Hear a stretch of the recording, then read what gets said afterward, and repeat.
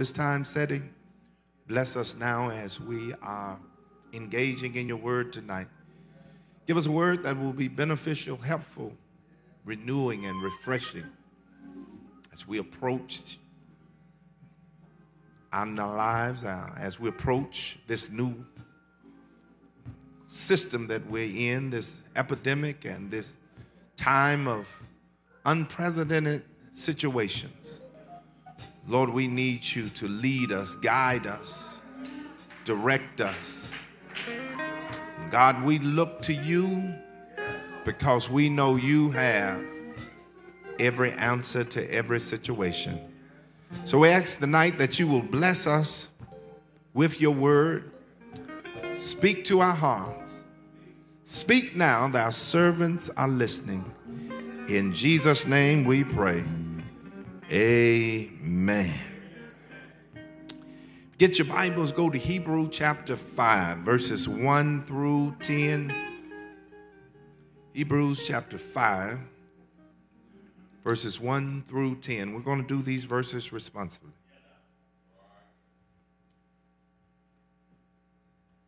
And when you have it, say amen. For every high priest taken from among men is ordained for men in things pertaining to God, that he may offer both gift and sacrifice for sin.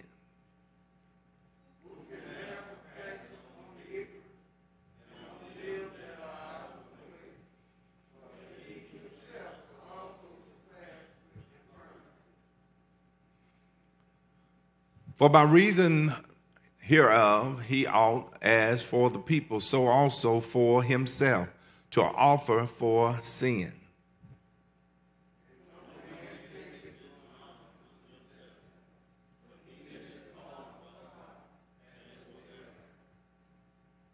So also Christ glorified not himself to be made an high priest, but he that says unto him, Thou art my son, today have I begotten thee.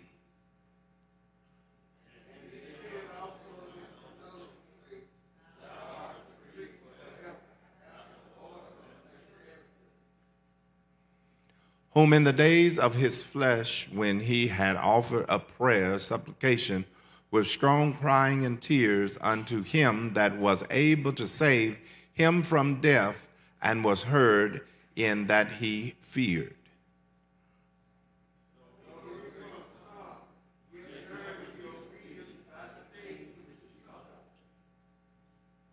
And being made perfect, he became the author of eternal salvation unto all them that obeyed him. Together.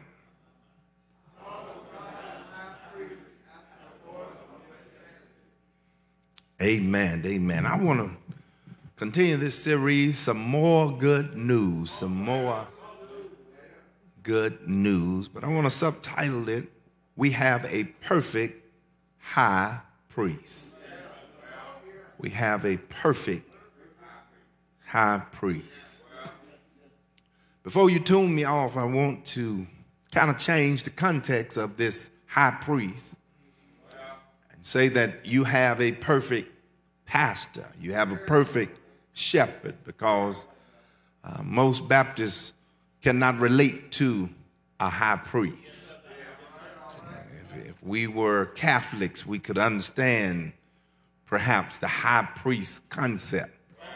Uh, but in our concept, in our context, Sometimes that ideal of high priest may be difficult. So I want you to do uh, uh, the gymnastics uh, mentally of where it says high priest, think of it as a shepherd or a pastor. And I think this is a relevant word because uh, somebody listening to me, watching me right now, or even someone in the sanctuary who are deterred and disturbed and really disappointed with church, ministry, and Christianity. All because of a pastor, preacher, prophet that let you down. There are those who've been hurt in the pew because they have given their all to those who wear uh, the title of prophet, preacher, pastor, priest, only to find out that their sins are compatible to the sins of those in which they preach to. And I know we set them up and put them on a pedestal. And I tell you, New Hope, please don't put me on the pedestal.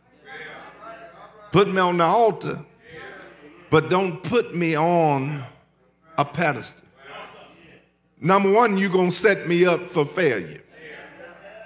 Because as long as my feet are the feet of clay, long as I am flesh and blood, I am subject to fault, failures, and error. And when you put all your eggs on me, you'll find yourself disappointed. And there are many who have given themselves to ministry only to be let down because of what they have experienced and seen in the pulpit, but you must understand and must know that there is not perfection in the pulpit or in the pew. And stop looking for perfection because you will not find perfection. And as it has been said over and over again, if you ever find a perfect church, perfect ministry, you get out of it because you're going to mess it up. You're going to mess it up if you show up. We must understand that, that we have a high priest in Christ that gives us some hope. We have a pastor in Christ that gives us some hope that gives us the mindset and the attitude of knowing of knowing that God has given us a high priest that we can hold in high esteem, that we can honor and respect knowing that we will never ever be let down. This Hebrew writer gives us this idea, this hope of this high priest. Remember last week, the Old Testament, uh, the, the high priest was one that was uh, called by way of heredity, or, or you had to be in a certain lineage to be able to be called into the title of priesthood. Then, as it moved to uh, the New Testament, it became more political. And they were selected based upon their relationship with those uh, who were in the Roman government and the powers that be.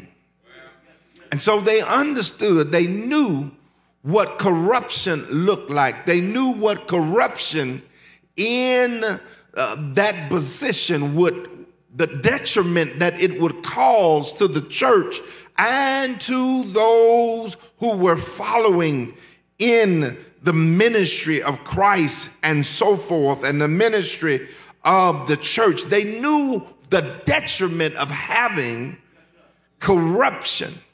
And so when when the, when the Hebrew writer mentions and speaks of a high priest, one in which we can all embrace, one in which we can all look up to, one who will not discriminate and show any respect of person, one in which we have as our Savior He's trying to pull and place the argument that Jesus is the best thing you've ever seen. You, have seen Moses as prophets, you've seen the angels, but you've seen high priests. Jesus fits in those categories, but he's much better and he is much more. And so he wants them to focus not on the position of those who hold the position of the high priest, but he wants them to focus on the person of Christ who has now become the ultimate high priest. No longer will they have to change out high priest. No longer will they have to call another high priest. No longer will they have to call another pastor in place. Jesus has come once and for all and has interceded on our behalf and has given us access to God. A couple of things I want to share with you, and I'll get out of your way that I see here in our text. He names the qualification for the priest. The qualification for the priest. Look at verse 1 of Hebrews chapter 5. For every high priest taken among you, taken from among men, is ordained for men. That word ordain, it means to set, it means to be in place.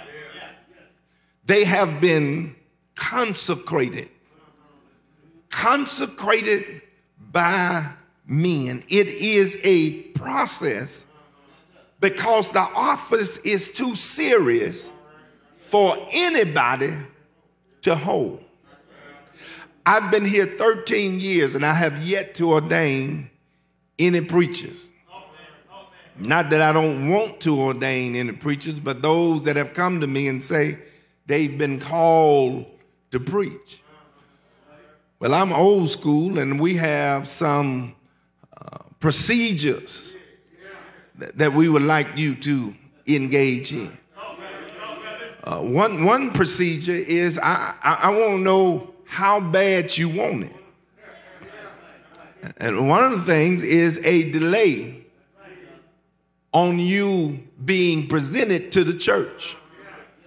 I want you to pray about it because we, we need to make sure that God is calling you to this. Because a lot of time when people hear a good message, they feel the Lord calling them to preach.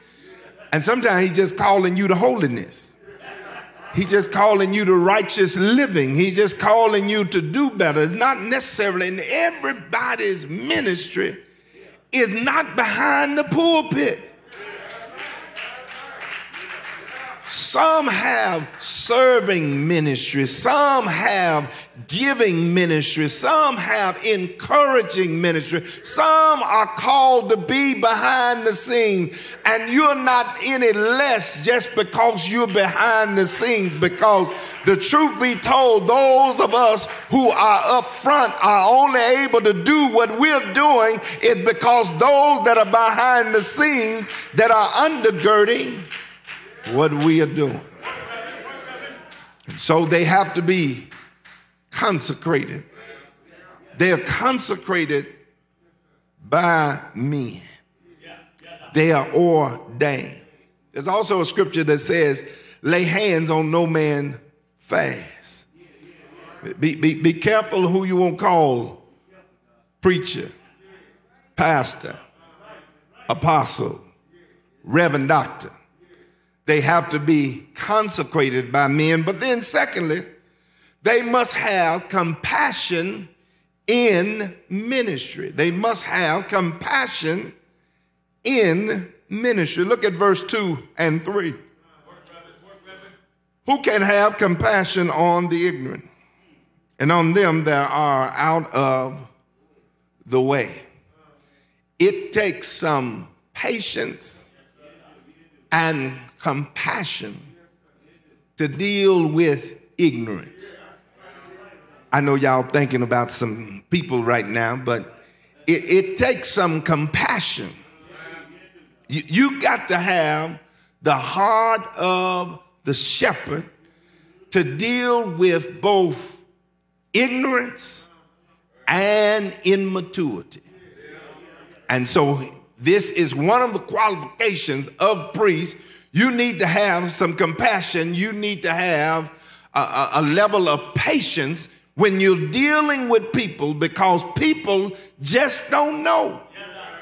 And sometimes they are not mean, they just green. That there's just some things we just don't know.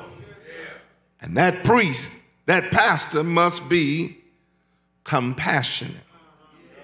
Why? It gives a reason why it should be compassionate if you hadn't closed your Bible. On them that are out of the, out of the way, for that he himself also is compassed with infirmities. Meaning, the same mercy you need, I need it too.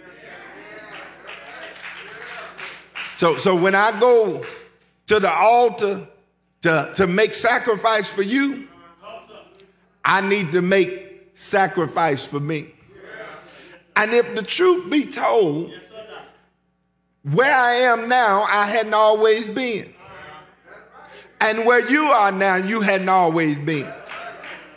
Showing up at Bible study during a pandemic, listening to live stream during a pandemic. I mean, there are places in our lives we hadn't always been. We have we have developed and evolved to a place where we are now ready for growth and development and new things. It does not happen overnight, but I thank God for pastors, priests, and leaders who are patient and passionate enough to give you space to develop and to grow.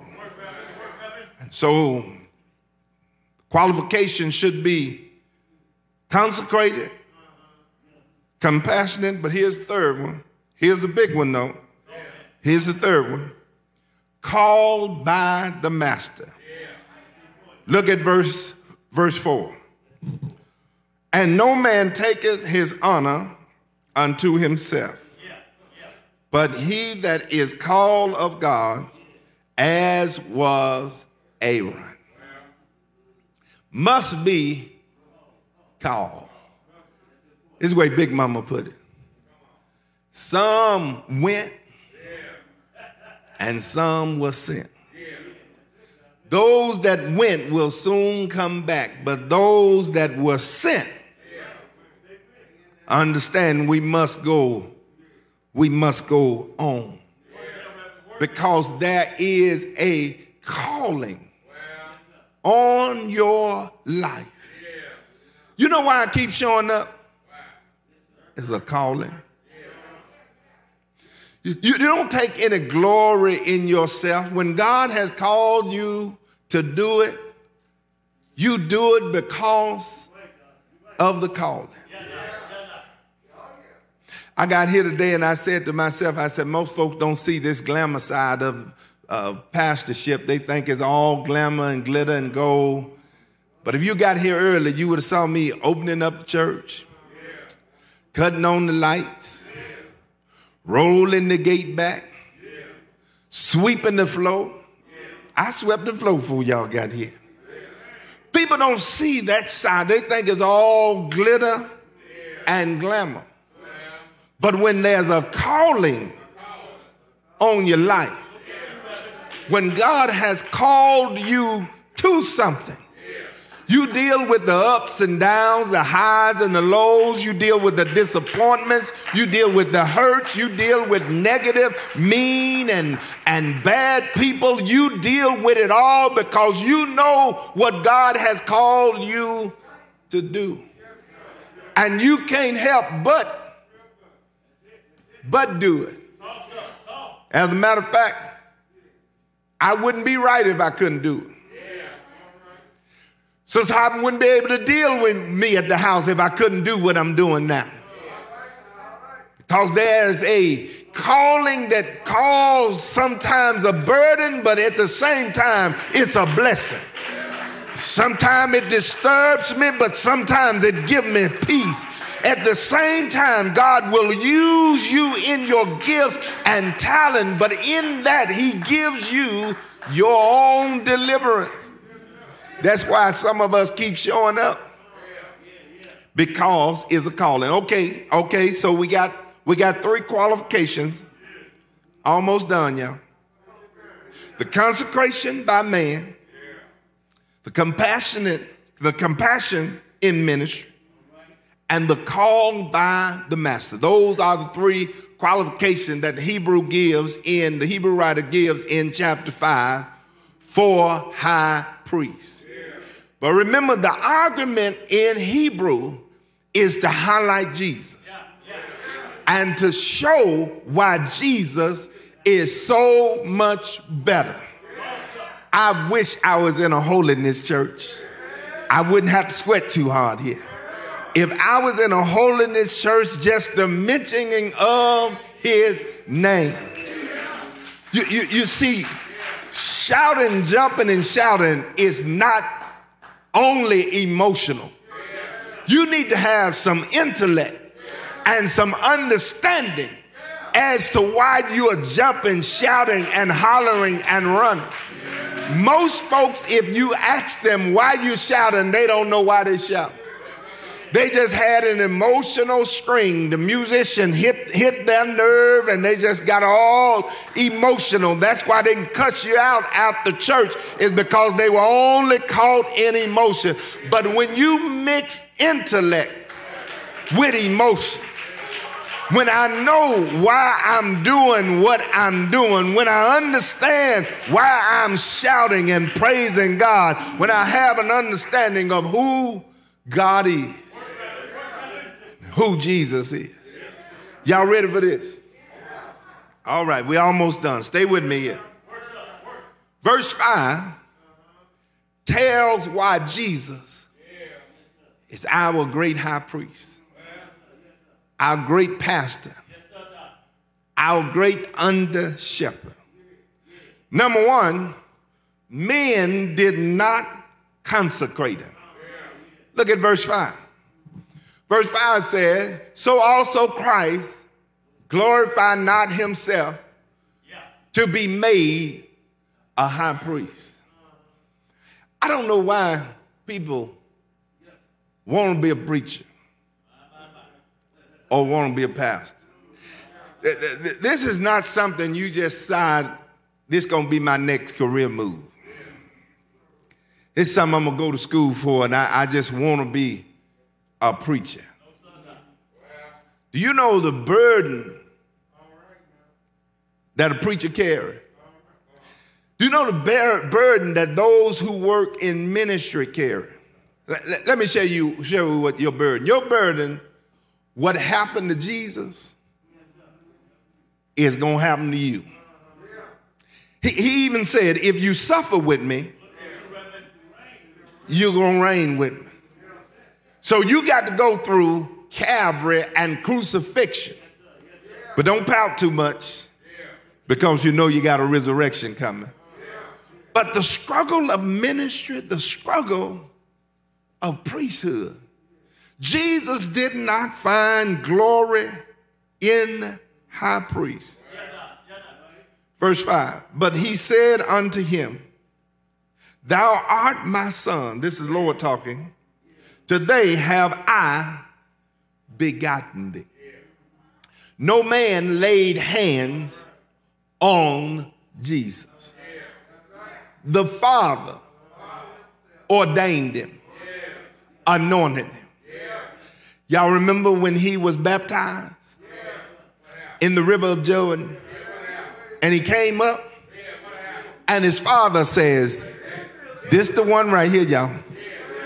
This is my beloved son, and whom I am well pleased. Y'all remember when he was on the mountain of transfiguration and his insides came out and the glory of God shined upon him? his daddy got on the loudspeaker one more time and said, This, this him, y'all. He is. This is my beloved son in whom I am well pleased. He was not ordained by men. He didn't go through no ordination process. Preachers asked him questions. Matter of fact, he was asking the preachers questions at 12 years old because the Lord had laid his hand on. He was not consecrated by men. He didn't have a certificate on his wall of ordination. He was ordained by God himself. He's already appointed by God himself. Verse 5, verse 6 rather.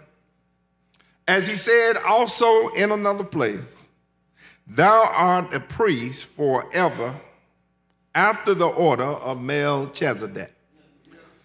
And those Bible readers remember Melchizedek was the king of Salem. And when Abraham won a great battle, he showed up. And Abraham paid tithes unto Melchizedek. Why? Because the Lord had granted Abraham an upset victory. I wish y'all read the Bible. He granted him an upset victory, and Abraham knew nobody but a God could have done that. And so he wanted to give homage. He wanted to pay homage to Melchizedek. But the thing about Melchizedek, we don't know who his daddy was. We don't know where he came from. He says that Jesus, you're going to be under the order of Melchizedek. Your priesthood will not have a beginning nor an ending. I'm going to save that because that's going to be significant to the last verse because it says the same thing in verse 10. Men did not consecrate, but then, thirdly again, he had the ministry of compassion. Verse 7, 8, and 9. He had the ministry of compassion. Look at verse 7. Who in the days of his flesh, when he had offered up prayers, supplication, and with strong crying and tears unto him that was able to save him from death, and was heard in that he feared. Though he were a son, he learned, though he, he were a son, yet learned he obedience by the things which he suffered. Verse 9, being made perfect, he became the author of eternal salvation unto all them that obeyed him. Ministry of compassion. Some theologians and scholars says in this particular verse, verse 7, it's a reference to when he was in the Garden of Gethsemane. And so Jesus understands and know how it feels to lament, to struggle, to wrestle with something. You have a high priest who knows just how you feel. How you feeling right now? The Lord says, I understand. I know just how you feeling. You can appreciate any pastor, any preacher who understands what you're going through and how you're feeling. I was with my brother this weekend and he shared with me, we were talking about mom's transition and he was telling me about how people would come up and try to console him. And his words to them were, Is your mama still living? He said, If your mama's still living, I don't want you talking to me. He said, Let somebody talk to me that's mama is on the other side. He, he said, in so many words, he wanted somebody that could relate to where he is. And that's what ministry becomes. And a lot of times, particularly during those hours, a lot of times we have learned the goldenness of silence. Sometimes what's not said is better than what we try to say. Because there's some things, y'all, we just can't fix with words. And I don't care how many cliches and I don't care how much scripture you know, sometimes all you need a friend to do is just show up. And don't open your mouth and don't say a word because you can't fix this with word. Jesus says, I'm, I'm the great high priest because I know how you feeling. I've walked down that road. I know what it means to be lied on, stabbed in the back, deceived and mistreated. I know what it means to have a best friend and your best friend dies. I know what it means to struggle with God and wrestle with God. I understand how you feel. So stop talking about don't nobody know how I feel. The Lord knows how you feel. Won't give yourself a pity party. Won't nobody know what I'm going through. Lord says, I know. I know so much. Verse 8 says, I was obedient even under pain and pressure. I know how to maintain obedience when the heat gets on. And some of us are good as long as there's no heat and no pressure. But when heat and pressure show up, we lose our faith, lose our belief. So Jesus says, I understand it. And then the Hebrew writer said, He's been made perfect. And He has become our perfect way to salvation. What a mighty God we serve. Let me leave you when I tell you this last one. Verse 10. Verse 10 says, Call of God and high priest, there it is again, after the order of Melchizedek. Time is filled with swift transition. None on earth can stand. Build your hopes on things eternal and hold to God's unchanging hand. Everything in this life is transit. Nothing stays the same. Things are always changing. But Jesus Christ, the same yesterday, today, and forever more. What the Lord is saying here in this Hebrew text, when he gives Jesus the title under the order of Melchizedek, that he will be one who will be standing when the dust clears. We are able to say he's King of kings, Lord of lords, but I want to add priest of priests. Because once he gave the ultimate sacrifice. There was no need for the high priest. He gave us, not only did he intercede for us, he gave us access to the throne of grace. Y'all ain't forgot Hebrews 4:16, have you?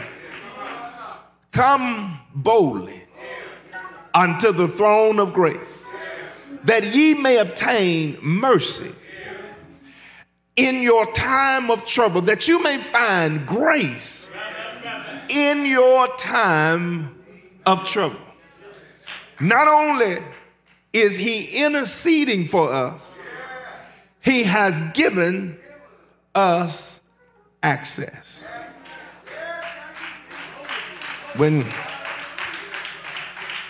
when my my son, I guess, was around 12, 13, 14. He would always, uh, much as he can, would have people coming over, uh, sleepovers and swim parties and so forth.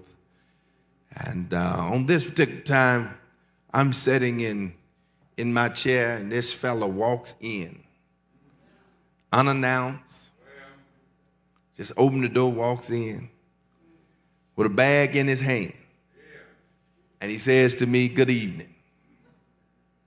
And goes upstairs, change clothes, t shirts, gym shorts, flip flops, goes to my refrigerator, opens the door, fix him something to eat. He eats it, goes right back upstairs and get in bed. And I said, Trey, who is that? He says, Dad, that's Cordarius. He kept on doing what he was doing. I said, Well, who is Cordarius? And he said something. He says, Dad, that's my friend. And because he's a friend of Trey,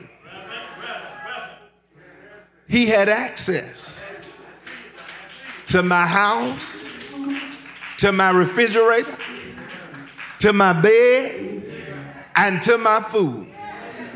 Well, y'all think I'm talking about Trey and Cordora, but let me tell you, because of Jesus, our high priest, we got access. You got access to some things. You got access to joy, peace. You got access to healing. You got access to deliverance because of that your high priest. And can we call his name up in here? Anybody know his name? His name is Jesus. And this is why we celebrate and this is why he, we praise him because he is our great high priest. He has given us access. I got access to my Father. Now I don't even have to go through a priest now. I ain't got to confess to a priest. I ain't got to tell the priest about my dirt. I can go straight to God. And he'll hear my faintest cry. And he'll answer by and by. He won't judge me for what I say to him and because he already know everything I've done. And he already got forgiveness ready to give me just at the mentioning of Father, give me another chance. I tell you, y'all, we got something to celebrate. And we've got some good news, even in this pandemic. You got a high priest, you got a preacher, you got a pastor that you can confide in, you can go to. He'll intercede on your behalf, and at the same time, give you access to the Father. What a mighty God we serve. Amen. Amen. God, we thank you again for your word tonight. Thank you for allowing us to share your word tonight. We pray for those that were listening. And we're grateful for the privilege and opportunity to now gain access to you. In Old Testament time, you were unapproachable. In the Garden of Eden, because of the fall, they were evicted out of the garden. Even in the wilderness, they couldn't approach you. They could not approach the tabernacle. They could not approach the temple.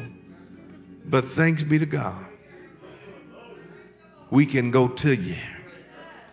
Thank you, God, for giving us access. And somebody need access tonight, God. Somebody needs salvation. Somebody needs healing. Somebody needs deliverance. Somebody needs power and anointing. Somebody need hope, God. Grant us access through your son Jesus that we may find help in our time of need. We love you and we bless your name. In Jesus' name we pray. Amen. Again, I want to thank you for tuning in. Thank you for sharing with us on tonight. I want to remind you that you can connect with this church. You can become a virtual member of the New Hope Church. Uh, we have some information on the screen that you can connect with the church through our website, New Hope Orange Mound, or even call the church 901 323 6507. If you need prayer, please give us about five or 10 minutes once we dismiss. Uh, we will have our counselors available. And if you need prayer, please call and share. I want to invite you also to look on our website. We have important information. If you know anybody in the Orange Mound area, uh, that will be having children that will be going to school.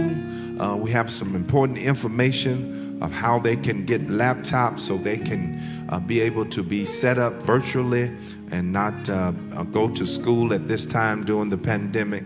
Uh, so please visit our website. We have some important information Uh, for those that live in this community and if you know someone that lives in this community. We want to thank you so much for tuning in. Thank you. We pray and trust that you will were blessed by the message and continue to keep us in your prayers. And remember, there is hope.